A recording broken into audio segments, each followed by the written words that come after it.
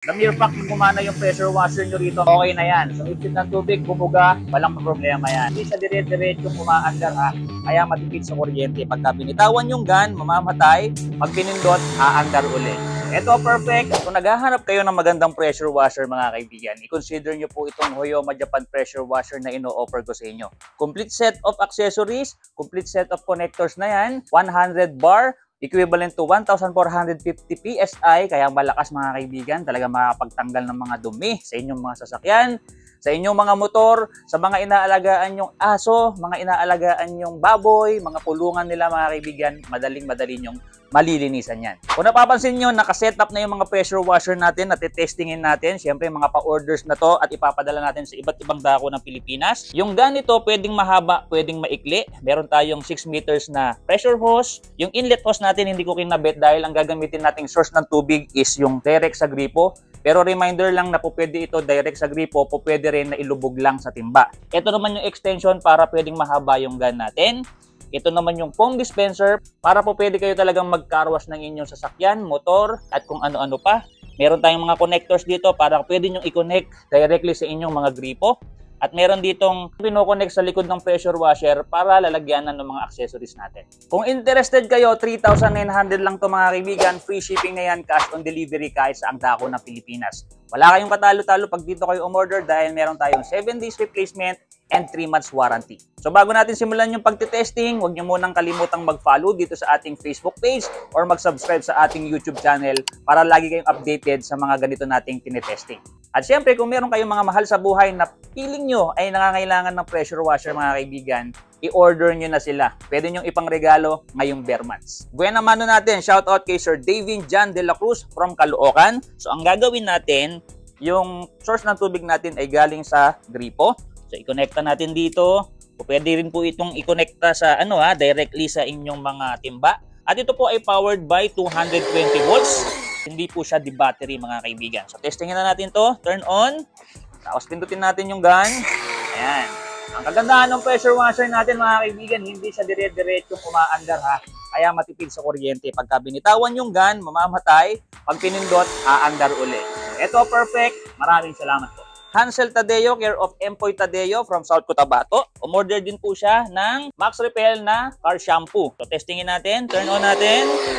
Good. May matulis at malapad na spray. So tinitesting natin lahat ng mga pressure washer dito para hindi tayo makapagpadala ng defective unit sa mga customers natin. So ito, perfect. Shoutout sa inyo, Risa Matukad, care of Ronel Matukad from Oriental Mindoro. Umorder din po sila ng Max Repel na car shampoo. So turn on natin to para masubukan na natin. Okay? Yun, namatay. Nabuhay dahil pinindot natin yung gun. Ang kayang ilabas na tubig nito mga kaibigan is 6.5 liters lang per minute. Kaya matipid sa tubig. Shoutout sa iyo, Sir Edwin Mendez from Camarines Sur. Ito yung pressure washer mo. Yan, testingin natin para hindi tayo makapagpadala ng defective units sa mga customers natin. Ganyan tayo kaganda rito mga kaibigan ha. Tinetesting talaga natin para sulit na sulit yung mga pressure washer nyo pagdating sa inyo. Irene Laid, care of Bayong Laid from Pangasinan. Ito yung pressure washer nyo po. Okay. Ayan. Yung power nito is 1,200 watts mga kaibigan, kaya malakas. Complete set of accessories and connectors na yan, kaya wala kayong magiging problema pagdating sa inyo. Shoutout sa iyo, Ahmad Ali from Hulo, Sulu. Ito yung pressure washer nyo po. Turn on natin. Ayan, so pindutin natin para lumabas yung tubig. Ang kagandahan nito, yung pressure washer natin mga kaibigan ay IPX5 protection. Pwede siyang mabasa, pero wag niyong ilulubog sa tubig. Julieta Baculo, care of Joel Baculo from Batangas. Ito yung pressure washer nyo po. Turn on natin. Ayun, so ang kagandahan ha, hindi sa dire-diretsong umaandar. Pag pinindot mo lang yung gun, doon siya aandar mga kaibigan. Kaya matipid sa kuryente. So ito perfect. Maraming salamat po.